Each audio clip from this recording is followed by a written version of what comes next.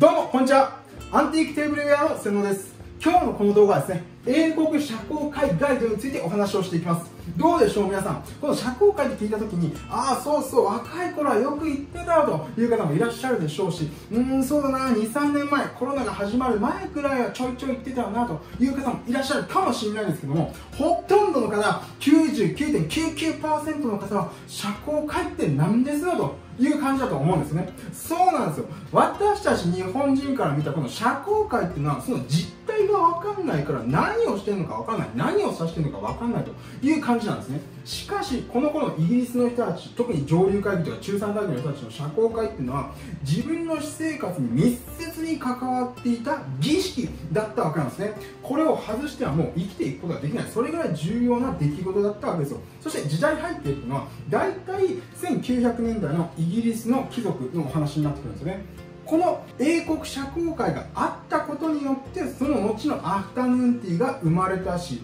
そしてこのアフタヌーンティーについて僕いろんな動画を作ってるんですけどもこのアフタヌーンティーっていうのは大体僕ね今日のこの開催される日の話をしてるんですね。でも実はこの前にも準備の段階があってこの準備の前には下積み時代があったわけなんですね。下積みというふうに思うかもしれないんですけどもただ単にアフタヌーンティー開けるというわけじゃなかったんですよ。この下積み時代があって一生懸命いろんなことをね広報活動をやってやっとアフタヌーンティー開けますよという話につながっていくんですね。今日はねぜひともこの女性の方に聞いてほしいなというふうに思ってるんですね。この準備の段階とその下積み時代を理解しておいた状態で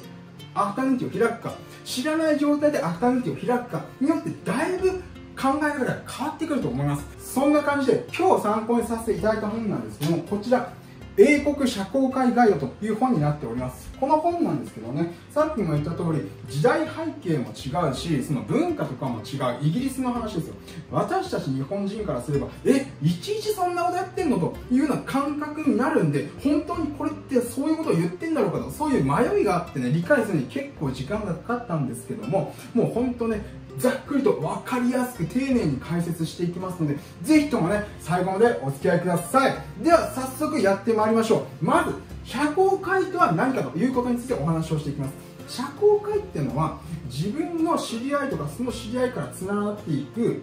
コミュニティとか村というふうに考えてください。ですので例えば私の場合であれば私はアンティーク好きですよね。でこの周りには大体このアンティークが好きな人が集まってるわけですよ。だから登録者の方も大体ほとんどがねアンティークが好きな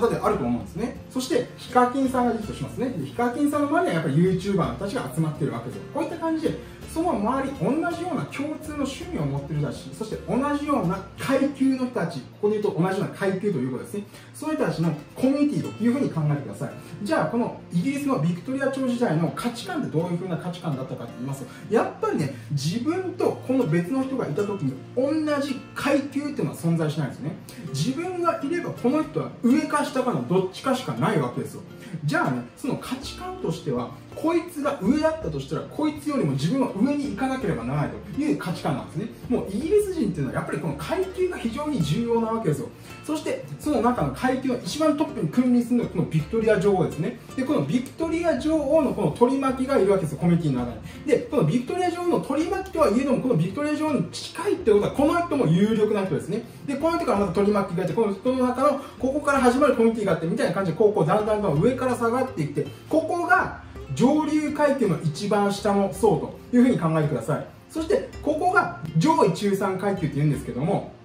今日のお話っていうのはこの上位中産階級の私たちが私たちがこの上位中産階級というふうに仮定して一緒に疑似体験をしていただくんですけどもこの上位中産階級が上流階級に挑戦をするという話になっております。ここにねやはりこの上流階級と中産階級の壁があるわけですよ。でこの壁のことが社交界なんですよね。この壁を突破できれば自分は上流階級に入っていけるし壁を突破できなければ中産階級のまま終わってしまう。そしてこの上流階級の人この人たちっていうのは中産階級を押さえつける上流階級に入ってくるんだよと。いうふうに押さえつけていたわけなんですね。しかし時代背景っていうのはやっぱね中産階級力を持っていたわけなんですよ。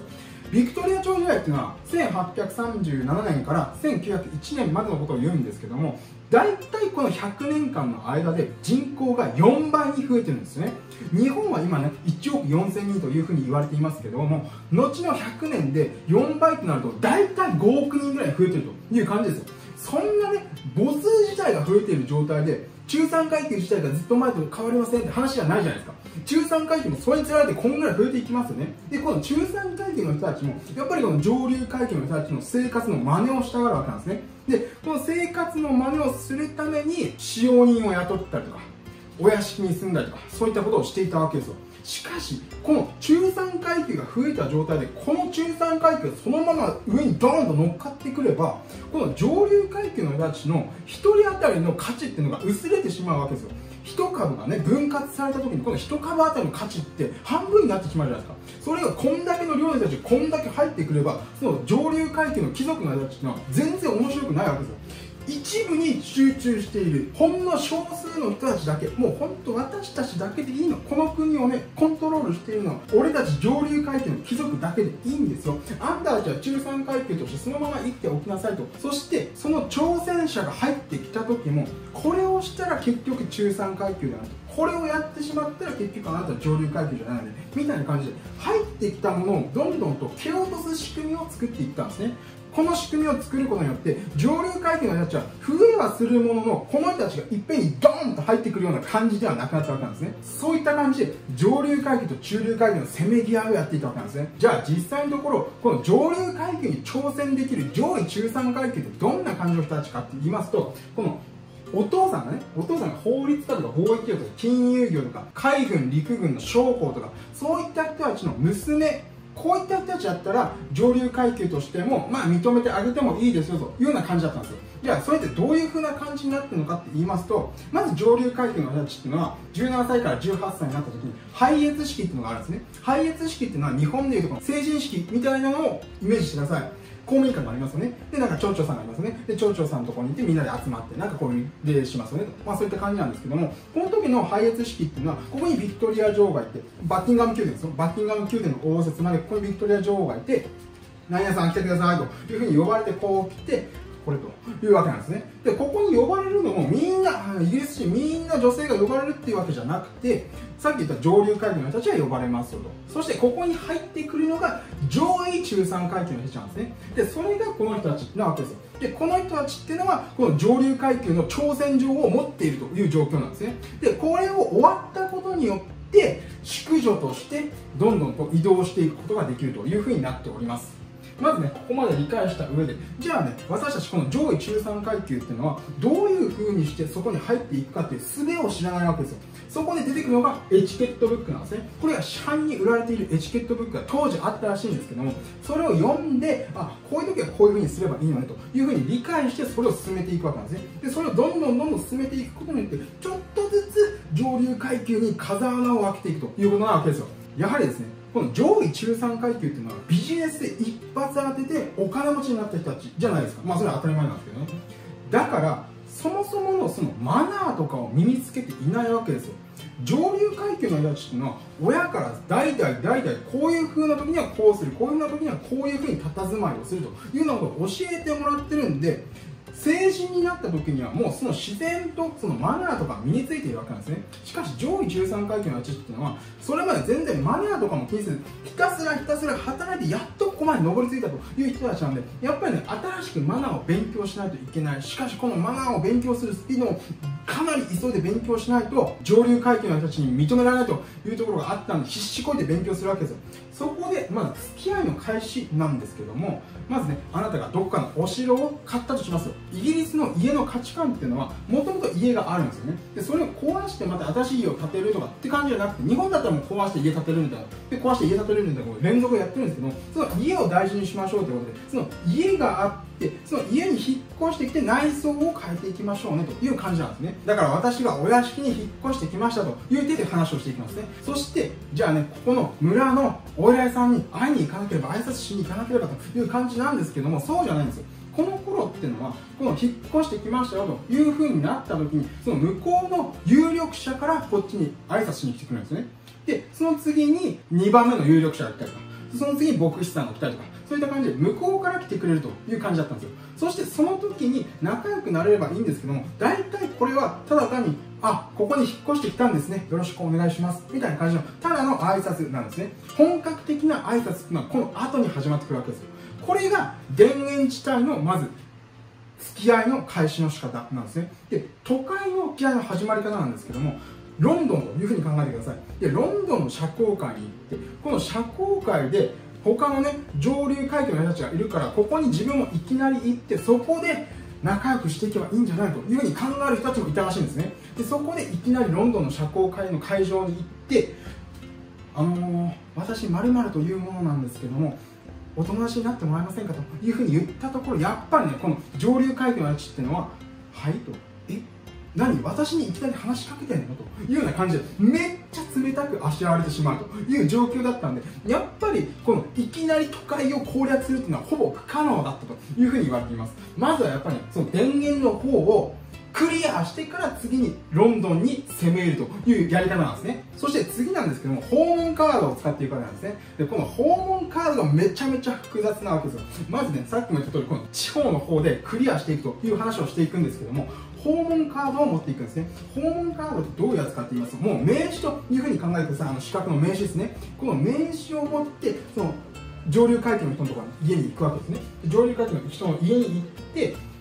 コンコンとしたらメイドかフットマンが来るわけですね。メイドかフットマンが来てあのー、〇〇さんにお会いしたいんですけどというふうに言ったところはい分かりましたというふうに言われてここで大体玄関ホールというところに通されるんですね。玄関ホールっていうのはまあ大きい廊下というふうに考えてください。そこで待たせられてじゃあちょっと今から呼んできますよというふうに言われて呼びに行ってで帰ってきますよね。で帰ってきた時にあのー、すいませんちょっとお嬢様がいらっしゃいませんでしたというふうに言うんですね。え？といやだって呼びに行くってことはいるってことじゃないのというふうに思うんですけどもそうじゃないんですよ。これって入れずっていう技を使われてるんですね。イルス入れんだけど留守ということですね。ただしこの入れすも別に嫌な技じゃないんですよ。この頃の時代っていうのはいろんな人がそういった感じで中産階級の人たちが来るからいやなんで何回もあんたっち会わないかんねんという感じじゃないですかこっちの人からすればだからもうちょちょっと今日疲れてるからもういないってことにしといてというような感じでイレスが大体のパターンなんですね。じゃあその時にこっち側私たちね北側はせっかく来たのにねイレスだったらもう意味がないじゃないかということになるんで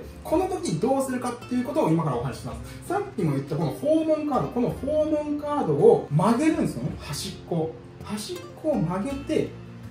玄関ホールのここら辺にね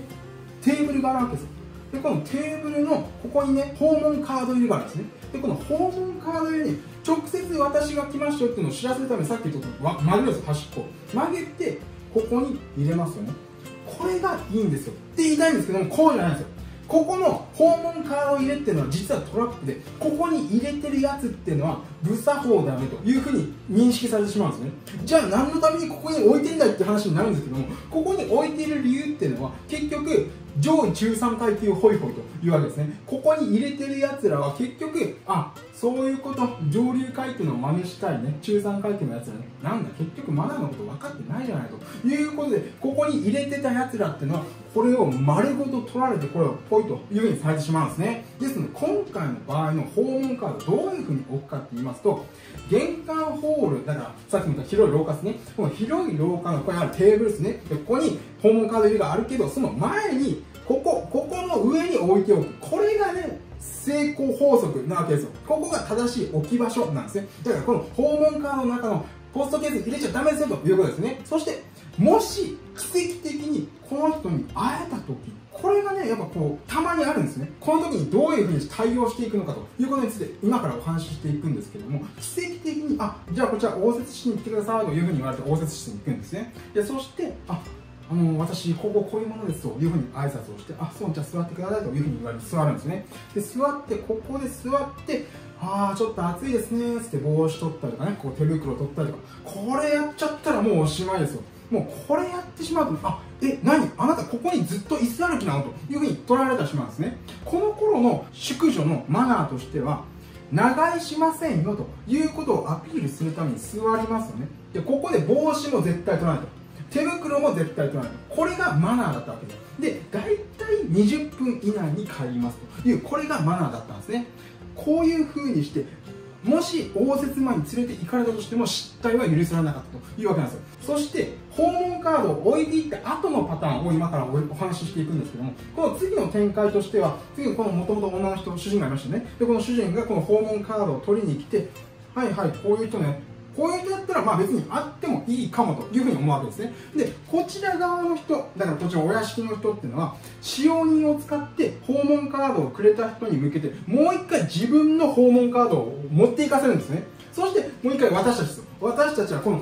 会いたかったこの人この人からの訪問カードを受け取ってそれを受け取ってからもう一回行きますね。でもう一回行ってあのまるさんから訪問カードをいただいてるんですけどお会いできますかというふうに聞いた時にもう一回ねメールが会いに行ってあのあの人が来てますけどどうします？というふうに話し合いがあってそしてあそうこの人2回目だけどちゃんと来たわねということでやっとここで会えるというわけなんですね。基本的にはこっちのパターンがメジャーなわけですよ。初めて行ってこの一元さんで出会えるっていうのはほぼほぼ稀奇跡に近いんですね。大体は1回行ってで失敗してでこの人がね訪問カードをこっちに渡してそしてこの人からこっちに来てやっと出会えるという超ね複雑システムになってるんですね。ちなみにこの時の訪問カードなんですけども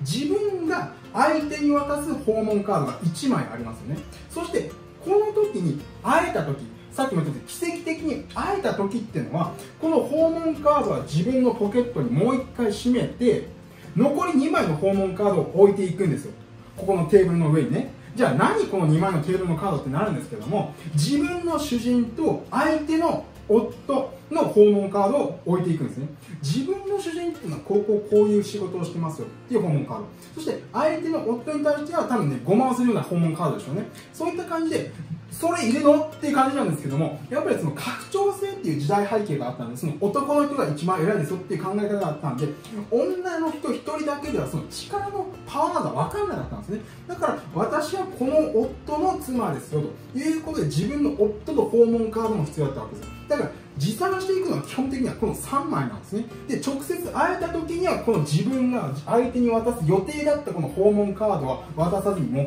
て帰ると。で2枚だけ置いて帰るというやり方だったんですよ。どうですか皆さん。この訪問カードだけ取っても会うのにそんな時間かけるんですかという感じだと思うんですけどもこれぐらい一生懸命やっていたというわけなんですね。ではねそれから進めていくんですけども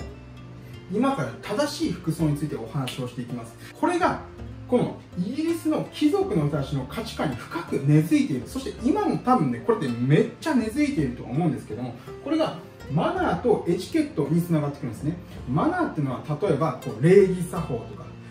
立ち居振る舞いとか佇まいとかそういったこの礼儀の部分があなたの人格を作りますね。だからマナーができてる人っていうのは人格が素晴らしいですね。っていう考え方なんですね。でエチケットっていうのはその手順のことを言うわけですよ。だからまあここで言うと服装というふうに考えてください。例えばですね上品な服装をしているのであればその人は上品に見えますよね。まあ当たり前なんですけど。でこの上品な服装をしている人この本人っていうのもその上品な振る舞いをするようになるというふうに考えられているわけですよ。まあ確かにそれはそうかなというふうに考えられるじゃないですか私たちも。例えばねこう最近眞子さまがいましたけども眞子さまがここにこうグッチって書いてあってで下がねアディダスのジャージ履いててで「おーい!」とかっつってたら「いやちょっとそれ違うんじゃないの?」というふうになるじゃないですかで、まあ、他にも革ジャン着てスタッズをつけててでこれドクロのネックレスつけててで髪が赤でこういうふうになってるとでこういうふうな感じの人でいや実は僕こう見えて医者なんですよというふうに言われても医者？あなたは医者なのといやそういうのじゃなくてさこうギターをもっとこうバーンってやったりとかマイクをドンってやったりとかおい常識なんてぶっ壊してやるよ。そういうふうなことを私たち求めるじゃないですか。こうヘビーメタルみたいなのね。そういったのを求めるんですけどもやっぱりねこうマナーとエチケットっていうのは表裏一体の関係というふうに考えられていたんですね。だからこの頃のビクトリア朝時代の人たちの服装っていうのは非常に重要だったわけですよ。だって上流階級の人たちっていうのはもう子供の頃からねずっとずっとマナーについて勉強してきたんで礼儀についてはまあ大丈夫でしょうということで次のそのねエチケットの部分ここのエチケットの部分がより重要。そして先端の流行を追っていてセンスも良くなければないとこういう考え方があったので常に着替えまくる。着替えまくって着替えまくって朝はこれ着て昼はこれ着て夜はこれを着る。そういった感じで着替える一日これが大体の上流階級の貴族の人たちの生き方だったんですね。そういった感じでこの服装について今からお話をしていくんですけどもまず朝午前中ですね。午前中まで大体身内としか会わないじゃないですか。家族としかですね。でこの家族だけなんで大体上品なコットンとかサージそういった素材で色付きのものを着て過ごすようにしましょうというふうに書かれてあるんですね。でそしてフリルのついたレースのものこんなのを着るなんて場違いですよと。もっと質素にしておかないといけません。そして宝飾品はシンプルなゴールド1色のみですよと。指輪はしてもいいけれどもこの指輪の中に透明の石透ける石そういったものはつけちゃいけませんよそういったルールがあるんですね。じゃあ昼になりました。昼になった場合はある程度外に行きますね外に行くんだったらある程度おしゃれをしていいですよと。いうことでフリルがついてもいいですよと。着飾ってもいいですよ。帽子にお花がついてもいいですよと。いうような感じで昼間は外に出かけるからみんなに見せるためにもおしゃれをしなさいというような感じだったんです。ねそしてこの時のスタイルなんですけどもやっぱり帽子と手袋パラソルこれがもう3種の神器だったわけなんですね。まあ神器じゃないですけどもこの3つがないと淑女としては認められなかったわけですよ。だからもう帽子忘れたりとか手袋したりとかパラソル持ってないとかっていうのはありえなかったんですね。そしてもしあなたが歩いてどこかに行くのであればそれはもうあなたはそもそも上流階級でもなければ上位中産階級でもありませんよ。だって歩くっていうのは結局その労働者階級の人しか歩かないんですから普通の人だったら普通の貴族だったら馬車に乗るか車に乗ってそっちに向かうでしょと。だからもしあなたが歩いていくのであればそれっぽく見えるのにみすぼらしい格好で歩いていきなさいと。いうふうに書いてあるんですね。だから結局馬車とかも車とかに乗っている人たちっていうのはおしゃれをした状態でそういった車に乗りましょうねということなんですね。手袋も本当流行があったらしくてこの頃の手袋っていうのは子ヤギの手袋か牛革の手袋このどっちかしか選べなかったらしいんですよ。この他に毛糸とかコットンとかの手袋もあったらしいんですけどもこの毛糸手袋をつけてるっていうのはもう最悪もう時代遅れのいいところだよねというような感じで受け止められていたんですね。これくらいねこうその素材に関してもかなり慎重に選ばれていたというふうに言われております。さっきの話に戻すんですけども、まあ、トントンとしてで、まあ、入っていいですよというふうに言われて入るんですね。で入ってさっきはこの手袋と帽子は取っちゃダメですよって話をしたじゃないですか。でこれはずっとそういうふうになってるのかっていうとそうじゃないわけです。これを外していいパターンというのが出てくるんですね。じゃあこれっていつ外していいのかっていうふうに考えた時にこれは座りますよね。でお茶を飲むここのお茶を飲むまではこれ外しちゃダメなんですよ。この手袋と帽子はですね。お茶を飲むまでは手袋をしたままお茶を飲むと。そして戻しますよね。そしてどこかのタイミングで主人が女主人がお菓子とかを持ってきてくるんですね。ペイストリーとか。そういったものを持ってきた時にこの女主人は長居してもいいですよって合図になるんですよ。だからこの時にやっと手袋を外して帽子を外して風という風になるわけなんですね。だからこのペイストリーが出てくるか出てこないかによって手袋を外すか帽子を外すかという判断がなされていたという風に言われています。非常にねこの服装についてもめちゃめちゃ難しいですよね。そして夜になってくるんですけどもこの夜もやっぱりその清掃があるわけですよ。この夜になってくるとローブデコルテっつって今こっちに映ってると思うんですけどもこんな感じのこう腕と肩が露出している。こういったドレスを着ている。そしてできればこの胸元も開いていてほしいですよね。そしてこの手袋も外出している手袋っていうのはこっちの手袋だったんですけども夜のドレスの時の手袋になってくると大体ここら辺ぐらいまであるんですね。これぐらいまでの手袋をしましょうねというふうに書かれてあるんですそしてなんでこの昼と夜の服装でこういう風にガラッと変わってしまうのかって言いますとまず昼間外に外出している時っていうのは男の人に基本的には肌を見せ,、ま、見せちゃいけませんよっていう考え方なんですよ。だからこのスカートももうめっちゃロングなんですね。で夜になってくると肌を露出してこのパーティーの時に男の人を魅了しないといけない。だから露出して誘惑しましょうねと。いうことでこの昼と夜の服装っていうのがだいぶ違うというわけなんですね。ちなみにこのねここまである手袋のボタンっていうのが20個ぐらいあったらしいんですね。20個こんなつけれますというふうに思いますけどもそれぐらいあったというふうに言われてます。だから簡単には取れないんですね。だからこの人については次女っていうこの着替えを手伝ってくれる専用の女の人がついていたわけなんですよ。今夜の洋服の話をしたんですけども大体この夜まで行き着くっていうのはなかなかないんですよね。上流階級まで行かないと。だからその前にある家庭招待会ここを攻略してやっと生産化につながっていく。だから夜のディナーとかねそういったところにつながってやっとその時の夜のドレスとかにつながっていくということになるんでまずこの家庭招待会を攻略しなければならないわけですじゃあ家庭招待会って何なんですかって話になるんですけどもいろんな人にカードを持っていって訪問して「はいいませんでした」帰って「はい次行って」「はいいませんでした」帰ってってこんなことずっ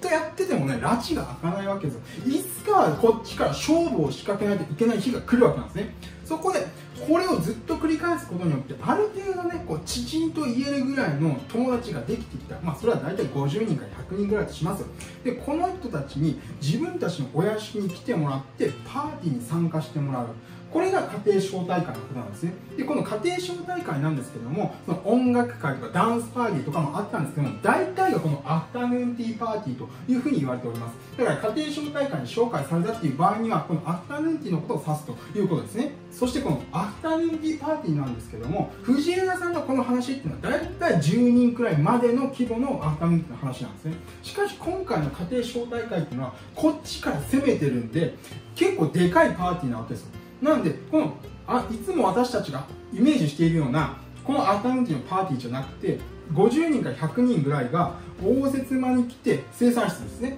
生産室に行って真ん中に長いテーブルがあってそこに食べ物とか飲み物があってそしてこれを使用人が取ってここのプレートに乗せて飲み物とか食べ物ね乗せていかがですかというふうに言ってこの人たちが食べるというようなスタイルだったわけなんですこの時に意識しないといけないことっていうのは結局自分が開催者じゃないですか。だからこの自分とこの人は友達だけどこの友達とこの友達っていうのは友達じゃないんですね。でこの人とこの人もこの人もこの人もみたいな感じでここの人たちっていうのは知り合いは多分いるんでしょうけどみんながみんな仲いいっ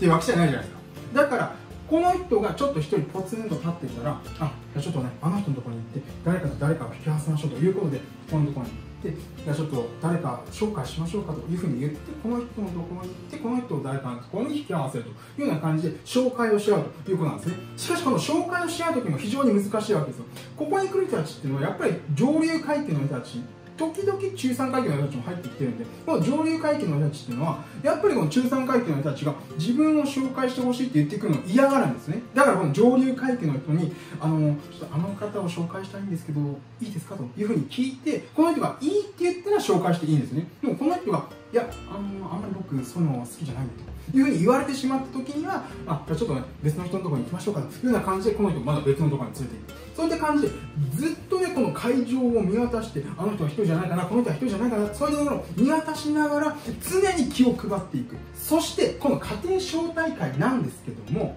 この上流階級まあね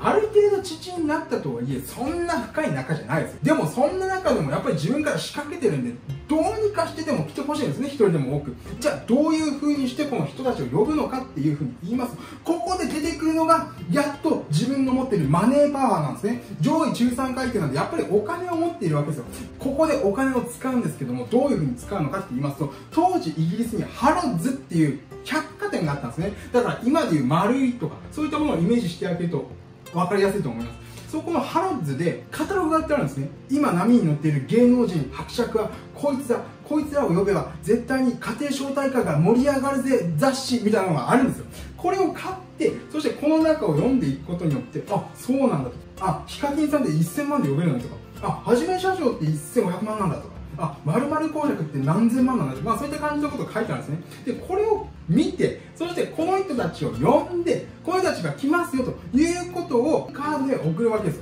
で、カードで送ることによって、この人たち、だから上流階級の話、この人たちからも、あ、こういうヒカキンさんとかにあるんだったら、まあ別に行ってもいいかと。そして、あ、こういう貴族の人たちにあるっていうふうに考えれば、あ、じゃあ行ってもいいかというふうになるわけじゃないですか。だからここでねマネーパワーを使って上流階級の人を呼び寄せると。そしてこの家庭招待パーティーというのは絶対に成功させないといけないんでこの訪問カードも大体1ヶ月からまあ3週間前開催日の1ヶ月前から3週間前最悪とも2週間前までには送っておく。そしてこの人たちも大体ねその1週間前にはこの訪問カードを送っておく。これがルールだったわけなんですね。そして大体この自分が開催している家庭招待会が成功した。そしてこれを何回も成功させた。あまた今回もはじめ社長が来るんだ。よそういった感じでいろんな人を呼んであ成功した。あだったらあの人だから自分私が開催するこの招待会っていうのは行ってもいいんじゃないかというような感じになってくるんですね。上流階級の人たちから。何かあいつ上位中産階級の人だったけど結構頑張ってるんじゃん。そして私も会いたかった〇〇公爵とかあの芸能人とか連れてきてくれてんじゃんということでこの上流階級の人たちからもだんだんと認められていく存在になっていくわけですよ。そうすることによって次どういう風になっていくかって言いますとこの上流階級の人たちから生産会に迎えられるんですね。でその生産会に迎えられるっていうのはすごく素晴らしいことなわけですよ。この生産会っていうのがイギリス人の人たちの一番大事な儀式なんですね。だから生産会っていうのは夜ご飯のことですね。でこの夜ご飯の時に呼ばれるってことはこの人とこの人は同じ階級になってますよというふうな表示でもあるわけですだからこの人から呼ばれたってことは結局自分はもうこの人と同じ立ち位置まで来たんだよというところが分かるわけなんですね。そうすることによってあやっと俺も上流階級に入ったんだという実感が持てるわけなんですね。そしてこういった感じで呼ばれますよね。そしてこの後自分が生産会をやっていくという話になってくるんですけどもこの生産会もねめっちゃ複雑で忙しいということがあるんでとりあえず今日はここまでということにしておきましょう。そしてまたね次回お話ししますのでその時にしっかりと生産会についてお話をしていきたいというふうに思っております。いかがでしたでしょうか？あそうなのとなんかねこのアフタヌーンティーパーティーをただ単に開いて楽しんでたのねというふうにイメージしがちなんですけども全然そうじゃないと。その前にはねいろんな準備があって訪問カードをいろいろ配ってそして下積み時代があってやっとアフタヌーンティーが解説できるんだよと。っていうところを理解していただけたんじゃないかなというふうに思います。もしこの動画がですね参考になった勉強になった楽しかったという方がいらっしゃいましたらぜひともねチャンネル登録といいねのボタンを押していただけると嬉しく思います。それではまた。